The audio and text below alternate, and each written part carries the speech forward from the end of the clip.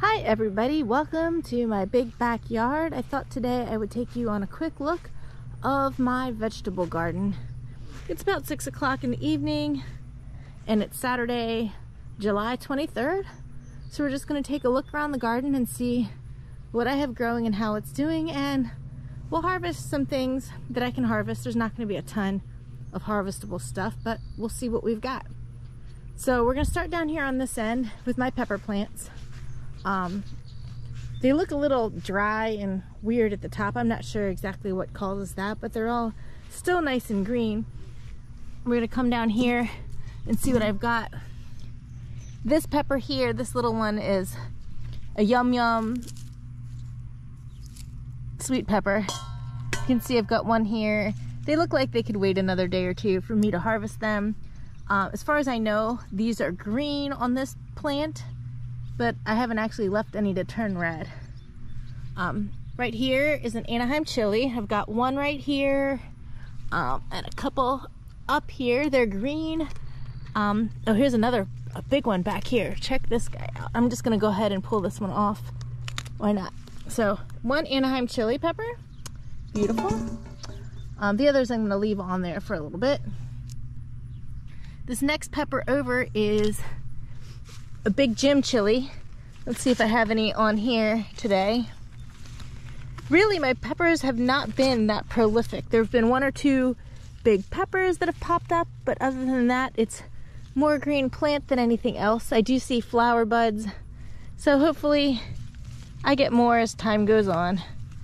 Um, and this last pepper over here, which is kind of crowded in there, is an Aleppo pepper and I haven't seen anything on that one yet either.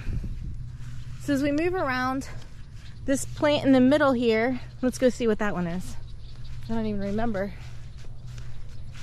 Well, this one on the end is my um, shishito pepper. These are great, just like little roasted peppers.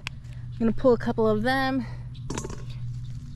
and pop them in there. I do like them to get bigger. There's some here that are on the small side. So I'm just gonna let them hang there for a while longer till they really get worthy of eating in my mind. But here's a nice big one right back here. This one right here, that's a good size one. So, um, this one right here is cayenne long. So you can see I've got bunches of these little green peppers and bunches of flowers. So it's gonna produce a lot for me. Um, those, of course, I'm gonna wait for them to turn red before I pick them. So let's work my way around the peppers. Down here back is a poblano pepper. Um, there's a couple or three poblanos up here that you can see, I'm sure. Um, I'm never really quite sure when to pick them, but it really doesn't hurt to leave them on there to turn red. Uh, a red poblano is just an ancho. So ancho peppers are great in things. Um, the next two plants, this one and this one, are Leutschauer paprika peppers. And what's cool about that is that's my one and only red pepper that I have here. It's the only one I've got so far. Um, my plan with these peppers was to like cook them up or smoke them and then dry them and make paprika. But I might have to go a different route with it because I'm not to get but so many at a time. So I'm to go ahead and pick this one because it's red. I don't know what the rules are about leaving them on the plant or not, but this is a Leutschauer pepper. Oh, I could have left it a little bit longer. Um, and this one back here is an Alma paprika pepper. I don't know what color they're supposed to be. I thought they were supposed to be red, but they're both yellow that I see there. So I'm gonna have to um, look into that and then I'll know when they're going to be ready to pick. Um, the other thing I have growing in here in this garden is this nibbled on plant here. Ooh, check it out. This is an eggplant. It's a Turkish eggplant. I forget the exact name of it. I wonder if this might be the label. Turkish orange eggplant. Okay, so that's very descriptive. Um, so there's one there. And if you look up the plant, just some green ones in there growing. Um, like I said, I think I overcrowded this garden. I planted all the plants kind of toward the middle because I had the onions around the outside and I really think that these plants could have used a little bit more space. The other thing that's not really helping is that the spaghetti squash here has been prolific. Look at this, down here is the first spaghetti squash that I got. And to be honest, he's almost ready. He's got a little green left. I'm gonna leave him on a little longer. But these guys are ripening up quickly. And as you see, I have one, two, three, four, five, six, seven, eight. Let's go around. 9, 10, 11, 12, 13, 14, 15, 16, 17 spaghetti squash that I see clearly on these two plants. And that's pretty good. I'm very pleased with that. The other kind of squash I have growing in here is honey nut butternut squash. And that one, well, it's hard to find the actual plant because it's mixed up with cucumber. But as you can see, oh, he's hard to see. I do have a honey nut butternut squash forming right there and another one down there. And so I've seen five or six of them. There's not a ton. Um, we'll see exactly how they come out. They've got a long way to go. Another thing you can see here is I've got a cucumber. This type of cucumber is a muncher cucumber. Um, I'll let it get a little bit bigger. There's another one there. And then I'll pick it and eat it or make cucumber salad. There's another butternut squash. The butternut squash is actually trailed all the way over here to this other side. There's the honey nut squash over there. And he said I was hoping these things would climb up and over the trellis and it they appear to have done so. Um, on this side, there's two more varieties of cucumber. This side, I think these are straight eight cucumbers. They're very prickly. Um, that's one of the bigger ones that's in here right now. I, I picked two the other day and I just made them into a cucumber salad. Um, so there were two at picking size and the rest of them are pretty small. The other kind of cucumber that I planted in here is an Armenian white cucumber. And I thought that hadn't done anything at all. And it hasn't done much, believe me. But right here is one little Armenian white cucumber just starting to form. So I'll get at least one cucumber out of this plant. As you can see, I've got some nasturtiums down at the bottom to help with bugs and just because of they're pretty. And my black coated runner beans are still throwing pretty flowers up over my trellis. That was really the purpose of them. I do intend to pick the beans, the black-hooded runner beans. Let me find, the beans are kind of hidden in here. They've been buried by cucumber. Oh, here's some. Um, I'm gonna pick them as a dry bean. I don't think that's typically what people do with these. Um, they're huge beans. They're like the size of giant lima beans, only they're black, which is cool. They're kind of like a purplish black color, which is neat. Um, over here, we're getting into the tomato crop. Another thing you'll notice down here is that I put a bunch of lettuce down here, not this grass, obviously, as kind of a cover crop to take up some space and the lettuce is growing. I've got basil of various kinds growing in here, but um, the little tomatoes are doing well. Um, this first tomato plant that you see here is a cherry tomato called Chocolate Sprinkles. Um, I'll pick a few of those. This is what they look like when they're ripe. Um, I've been picking these for a little while now. I get a few every day. Put them in my bucket of harvest. Um, and move on one of the cherry tomatoes I have here, this one is um, Sun Gold cherry tomatoes. I, I really like these too. They're delicious. So here's some more chocolate sprinkles. I've planted my tomatoes close enough together that they've kind of merged. But as I go through here, here's the Sun Golds. I've been out here picking cherry tomatoes every day. I love when it gets to that point in time where they're right there and ready to go. Um, there's so many good things to do with cherry tomatoes from salad to pizza to just snacking. So it's kind of hard to be disappointed in them. Um, so we've got chocolate sprinkles over here. The sun gold is the plant in the middle. As you can see, I've got a marigold down there finally blooming for me. And on this side, there is a tomato called Purple Bumblebee. I'm not entirely sure what they look like when they're perfectly ripe. This one's not quite. It's, it's kind of um, firm still. To me, I think they look very much like the chocolate sprinkles, just rounder. Whereas these chocolate sprinkles tomatoes are kind of long and have this little point at the bottom. These tomatoes are round and don't have a point at the bottom. But the color I think is gonna be about the same. I should get some ripe ones eventually. Well, this one might be. No, it's still too little green.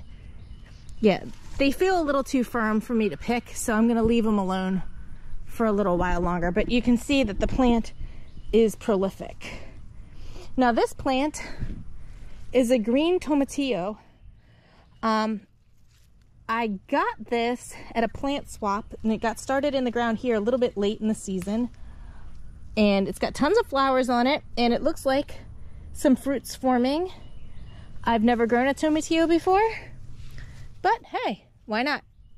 They're good. I can make salsa out of it or any other number of things. So moving on, we're gonna move on to my full-size tomatoes. Um, down here, and we'll probably take a better look at them from the other side, these are a paste tomato, mm, trying to remember the name of it. I'll read the tag when I get to the other side.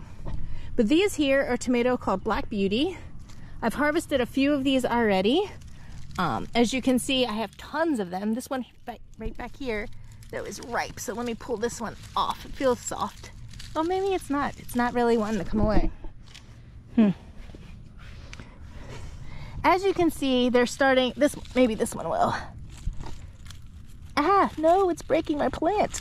Ugh, that's never good. Well, didn't want that to happen. Well, this one is um, ready to go. It's a little green, but it'll ripen up in the house.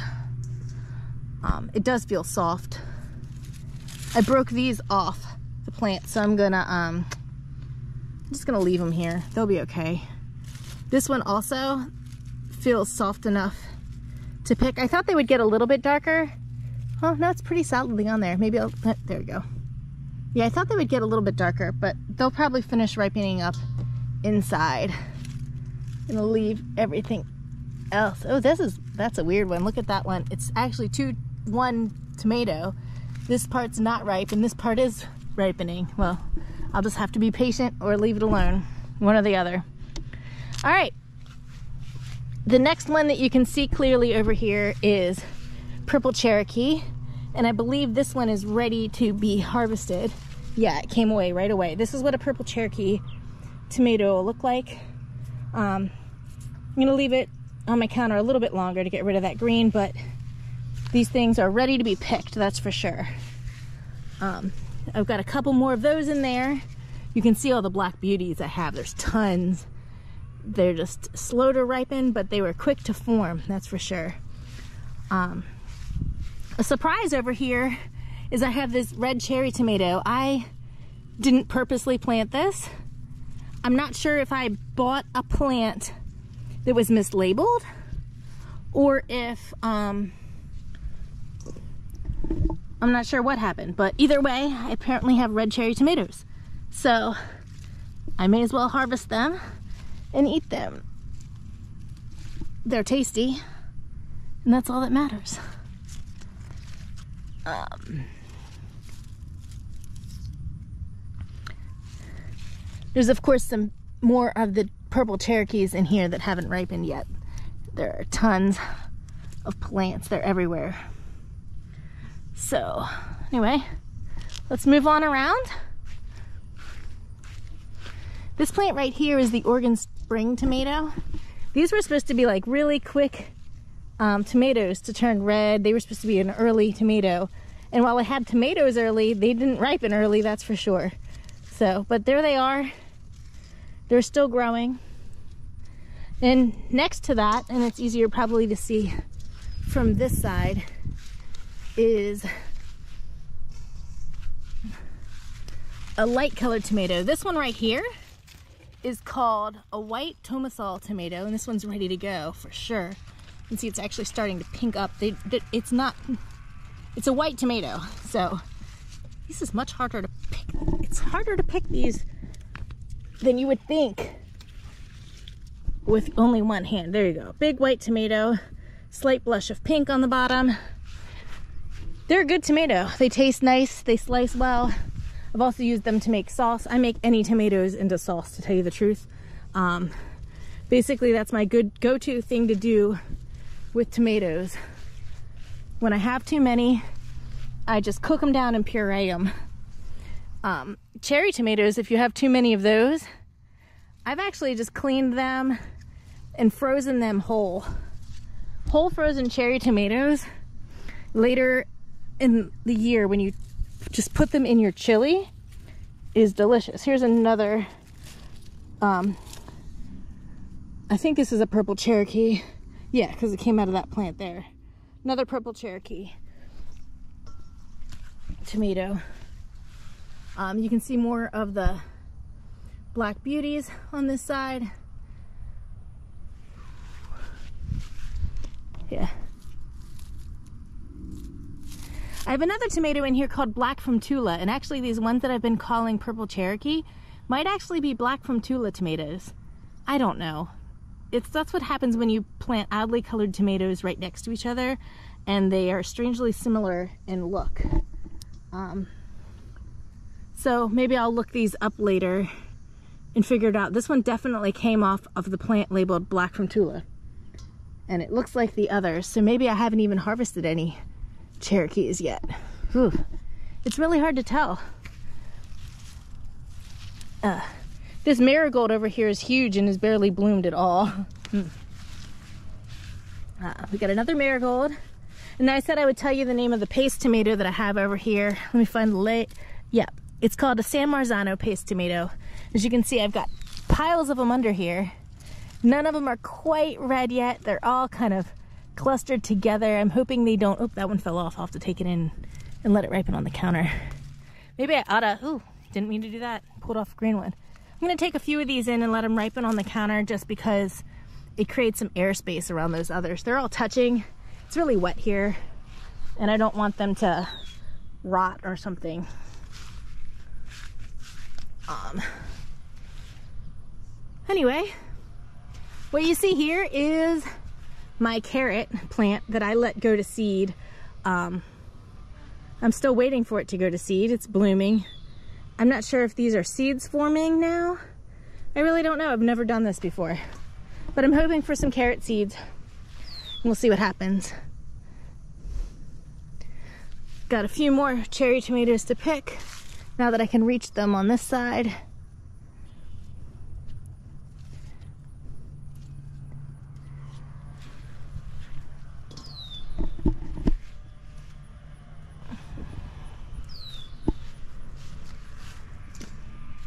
Oh man, look at these. These are those, um, the bumblebee ones. It's a little firm. I don't think I'll pick any more of them. This one looks like it fell off. Hmm.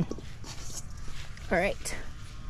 Anyway, another thing I have down here is I still have a little bit of lettuce left over from earlier in the season. I'm just letting it hang out as a cover crop. Um, and that's it, basically.